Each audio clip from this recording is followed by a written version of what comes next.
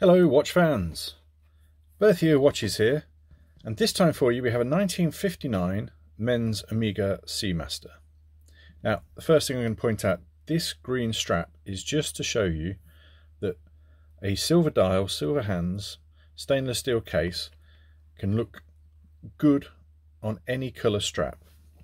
It will actually come with this leather strap makes it a very different watch with a black strap and so would a brown strap and so would a red strap. You can wear anything with these. So you have the manual wind caliber 610 movement Omega's own of course swan neck fine adjustment. Not that you'll ever see it because it's inside this case and this case is what they call a uniblock case. This doesn't come off. You access the movement from the front.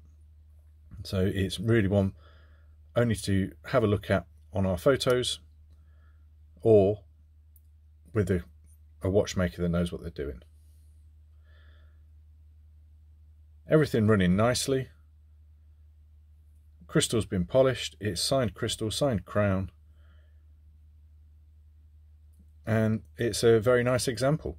1959, remember. This didn't actually come out till the 1960 International Collection. The serial number says 59, so we, we're going to go with that as the date of production, ready for the launch. It's available now at birthyearwatches.com. If you want the green strap, you can have the green strap.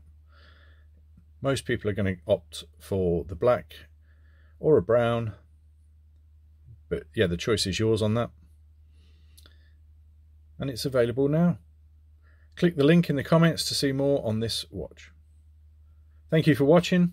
Please consider subscribing to see what we've got coming in next.